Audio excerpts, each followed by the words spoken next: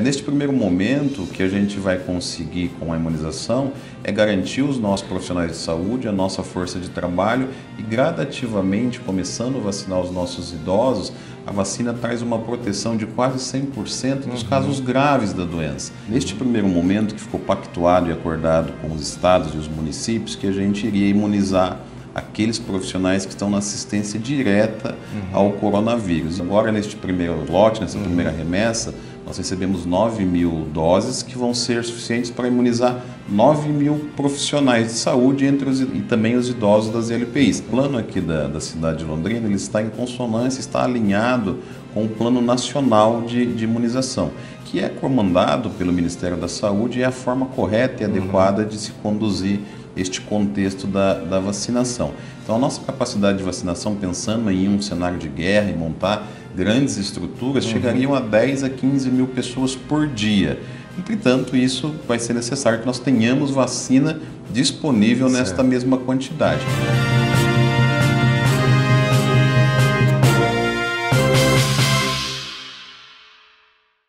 Olá, seja muito bem-vinda, muito bem-vindo ao Folha Entrevista desta semana. Nesse vídeo nós vamos conversar com o secretário municipal de saúde, Felipe Machado, para ele explicar como é que está sendo distribuída né, a vacinação aqui em Londrina. As doses, as primeiras doses destinadas à cidade chegaram na última terça-feira e já começou o plano de imunização, principalmente, claro, é, primeiramente com os profissionais de saúde. Felipe, muito obrigado pela sua participação aqui no Folha Entrevista. Obrigado, Diego, a todos que nos acompanham, Folha Entrevista. Graças a Deus chegou a tão esperada hora da, da vacina. Né? As uhum. nossas equipes já de imediato começaram a imunizar, em especial os profissionais de saúde uhum. que estão na linha de frente nesse enfrentamento pandemia nos últimos 11 meses e gradativamente nós iremos ampliando de acordo com a chegada de novos lotes da vacina. Tá certo. Chegaram aqui para Londrina cerca de 9 mil doses, né, Isso, secretário? 9 mil doses. Certo. São quantos profissionais de saúde aqui em Londrina? Se a gente avaliar todos os profissionais de saúde que eles vão integrar este grupo prioritário, nós temos 25 mil. 25 Neste primeiro momento que ficou pactuado e acordado com os estados e os municípios que a gente iria imunizar aqueles profissionais que estão na assistência direta uhum. ao coronavírus. E aí nós soltamos é, uma lista aos hospitais, para que cada hospitais, hospital pudesse preencher essa lista de prioridade e nos devolvesse com o nome do profissional, uhum. a categoria, o setor que atua, para que a gente conseguisse fazer essa logística de distribuição, respeitando a característica de cada serviço e tentando contemplar ao máximo os profissionais de saúde. Qual é a previsão de que todos esses 25 mil sejam imunizados, Felipe? A gente não consegue falar a respeito disso ainda, porque isso vai depender do envio de novas doses de vacinas. Agora, neste primeiro lote, nessa uhum. primeira remessa, nós recebemos 9 mil doses que vão ser suficientes para imunizar 9 mil profissionais de saúde entre os, e também os idosos das LPIs. Uhum. Até mesmo porque o governo do estado já garantiu as outras doses. Já está em posse do governo do estado todas as vacinas que serão utilizadas para aplicar a segunda dose, que vai ser em um espaço de 25 dias após a primeira. A segunda dose vai ser aplicada nesses, nesses mesmos profissionais que estão recebendo a, a vacina agora. Exclusivamente nos mesmos profissionais que estão recebendo certo. essa vacina agora nessa primeira etapa. O secretário municipal os idosos, eh, citou os idosos de LPI, que são os idosos que estão internados em asilos e, e instituições de longa permanência. É Exatamente. Tanto os idosos quanto os profissionais que trabalham nessas instituições. Certo. Também serão contemplados agora como prioridade máxima. E neste público nós temos algo em torno de mil pessoas, entre idosos e funcionários. Uhum. Bom, é, a, a, prefeitura divulgou assim que foi definida é, a aprovação da, da Coronavac, né, as doses emergenciais no último domingo pela Anvisa. A Secretaria Municipal de Saúde, a Prefeitura, é, divulgou o Plano Municipal de Imunização. Eu queria que o senhor explicasse para, para os nossos espectadores, secretário, como é que funciona. São quatro fases, né?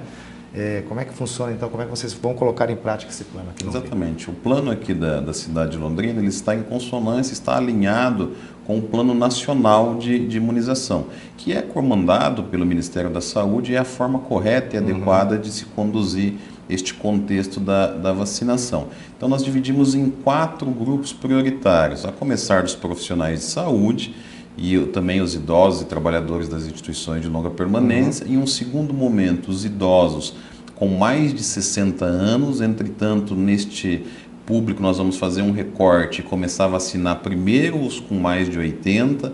depois os de 79 a 75 e assim sucessivamente até chegar nos, nos com 60 anos. Certo. Na terceira é, é, etapa... Independente de, de, de, se o idoso tem comorbidade ou não. Independente do idoso. É a, a faixa etária que a vai A segunda contar. fase é a faixa etária, certo. indiferente de comorbidades certo. ou não. A terceira etapa são pessoas com comorbidades pessoas que também, indiferente da idade, tenha comorbidades certo. associadas, doenças de base importantes, definidas pelo Ministério da Saúde, como diabetes, hipertensão, uhum. problemas do coração. Asma também entra. Pessoa, doença pulmonar grave, grave, que aí tem que ser atestada pelo médico. Certo. Pessoas com deficiência severa também vão ser contempladas nessa, é, terceira nessa, fase. nessa terceira fase. E aí a quarta fase é para um público específico, que são professores, força de salvamento, hum. também a, nós conseguimos incluir aqui os profissionais da assistência social, funcionários do sistema prisional e as pessoas privadas de, de liberdade entram nesta quarta, quarta etapa. Fase, aqui tá. em Londrina, todas essas quatro fases, nós estimamos que sejam aproximadamente 170 mil pessoas.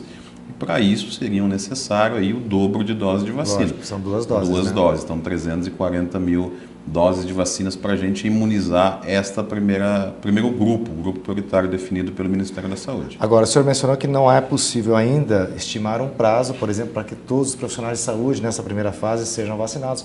Mas, enfim, é, se, se os trâmites ocorrerem dentro daquilo que vocês esperam, é possível a gente estimar quando essa quarta fase será concluída, secretário, aqui em Londrina?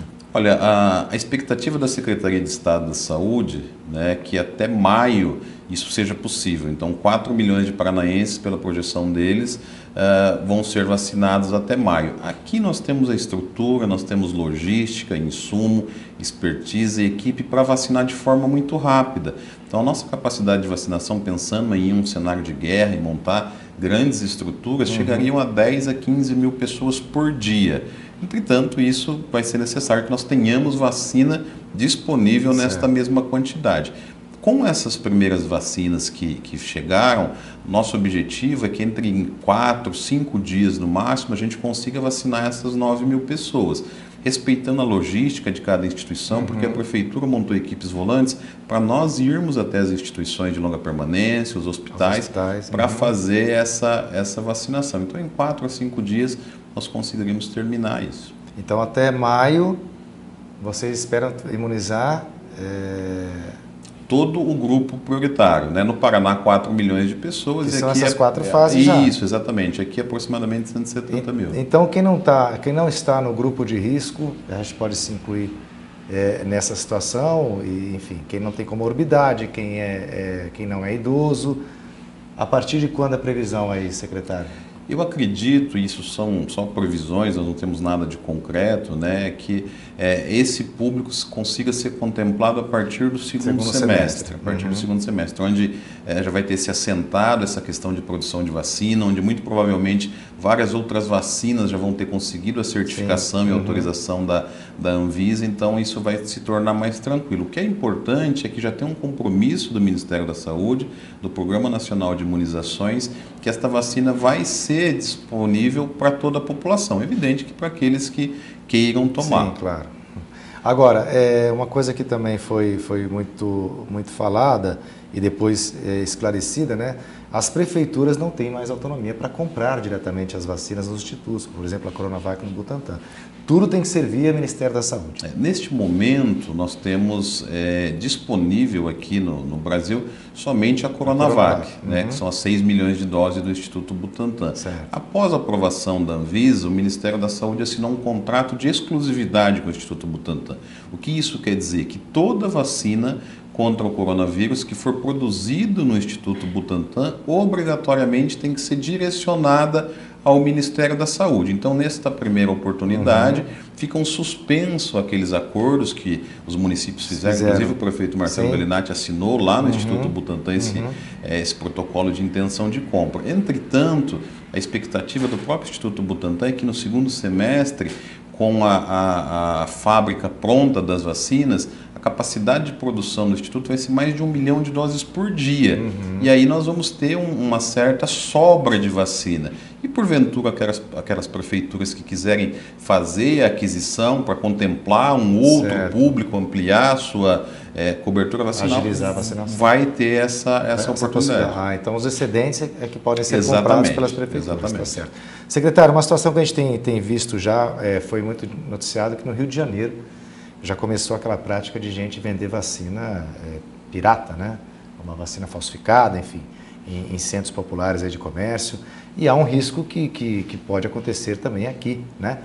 É, como é que vocês estão vendo essa situação? Que tipo de alerta pode ser feito para que ninguém compre uma vacina é, fora é, os trâmites é, recomendados pelas agências de saúde. Né? Com bastante preocupação a gente vê isso. Né? Isso, infelizmente, é mais uma fake news, mais um esquema montado por criminosos que precisam ser denunciados à, à, à polícia, justamente no momento de pandemia, onde nós estamos pois é. passando por tanto sofrimento, tantas perdas de, de pessoas. Infelizmente, algumas pessoas se aproveitam disso para tentar aí lograr vantagem em cima dos outros. Não há neste momento vacina para comercialização, nem as nossas unidades básicas de saúde vão receber vacinas para ficar na sala de vacina, como é um número reduzido, nós estamos controlando isso de forma muito adequada para que não haja nenhuma perda, nenhum extravio, hum. nenhuma utilização equivocada desta vacina neste momento. Então, eu acredito que a iniciativa privada muito em breve também vai conseguir ter acesso é, essas vacinas de outros laboratórios e começar a comercialização.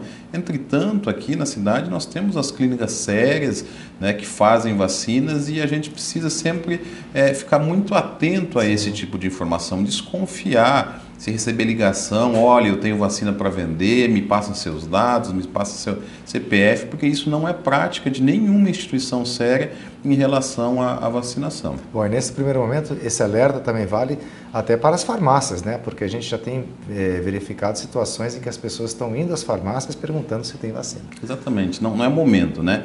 A vacina é exclusivamente em todo o território nacional profissionais de saúde, idosos e instituições de longa permanência. Essas 6 milhões de doses, uhum. pactuado e acordado entre todos os municípios, todos os estados, é que isso fosse priorizado. E gradativamente nós vamos ampliando essa população, respeitando os critérios do Plano Nacional e Plano Municipal de Imunização. Entretanto, a população ainda precisa ter um pouquinho de paciência. Certo. Bom, é importante a gente também fazer um, um alerta à população de que a vacinação é importante, claro, cada cidadão é que né, sabe de si, mas a gente sabe que, que é, um, é, um, é um imunizante que ele vai minimizar muitos efeitos da coronavírus, né? Não vai erradicar, Exatamente. mas vai é. minimizar os efeitos, não é isso? É neste primeiro momento que a gente vai conseguir com a imunização é garantir os nossos profissionais de saúde, a nossa força de trabalho e gradativamente, começando a vacinar os nossos idosos, a vacina traz uma proteção de quase 100% dos uhum. casos graves da doença realmente nós vamos transformar aí o coronavírus em uma gripe comum. Nós não vamos ter mais pacientes internados em hospitais, entubados, infelizmente muitos perdendo a vida por conta claro. desse vírus. Em que pese ainda permanecer a, a, chance e a possibilidade de se ser infectado, seu organismo vai responder de uma maneira muito mais adequada, sem necessidade de intervenção hospitalar. Quer dizer, essa é a importância da, da vacina. Né? Com certeza. E manter, uma vez que, é, é, no primeiro momento, como o senhor disse, né, é, só os grupos prioritários e gradativamente a população toda vai ser vacinada, o importante é manter as, as, as regras aí preconizadas pelas autoridades de saúde de continuar usando máscaras, né, secretário? É, higienização das mãos, dos ambientes e, se possível, né, na, à medida do possível, o distanciamento social também. Exatamente, não é porque nós começamos a vacina que a pandemia acabou. Certo. É verdade que isso é um alento, é um momento de esperança, de felicidade para nós, mas é o começo do fim. Uhum. Até que a gente chegue no, no fim de tudo isso, nós temos um caminho a ser percorrido. Então a população precisa estar atenta, precisa manter realmente todas essas orientações, distanciamento social, álcool em gel, máscara, ainda não é momento de aglomeração, de festa, de comemorações. Se a gente analisar o cenário epidemiológico de Londrina em números absolutos, nós estamos no pior momento, né? pior até que setembro, onde nós tínhamos enfrentado aí um grande número de, de casos. Nós temos hoje a nossa UPA atendendo quase 500 pessoas com síndromes respiratórias por dia. Muitas acabam não se confirmando com o coronavírus e outras é, acabam confirmando. Então a população precisa ter o entendimento que nós temos a pandemia, o vírus está circulando e precisamos nos cuidar. Claro. Bom, para a gente finalizar, em cima disso que o senhor falou agora, como é que está a capacidade de atendimento das, das UTIs, principalmente em relação aos infectados com coronavírus aqui na cidade? Olha, a Prefeitura de Londrina, Diego, montou uma estrutura que eu desconheço em todo, em todo o estado do Paraná e talvez até no Brasil. Lá no início foram 116 leitos exclusivos para o atendimento SUS para coronavírus de UTI. E aí nós fizemos um ajuste, porque a pandemia nos permitiu isso em outubro e novembro com a redução de número de casos, mas neste momento nós temos 96 leitos de UTI adultos exclusivo para coronavírus e mais 96 leitos de, de enfermaria e 14 UTI pediátricas.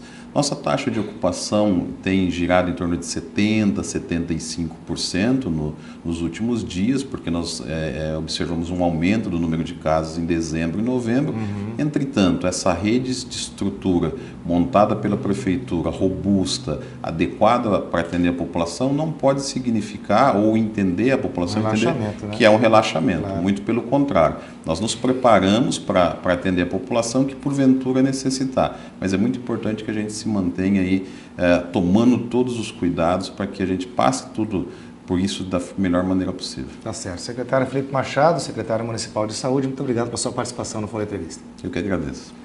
Muito obrigado, secretário. Se você gostou desse vídeo, curta e compartilhe. Eu aguardo você na próxima semana.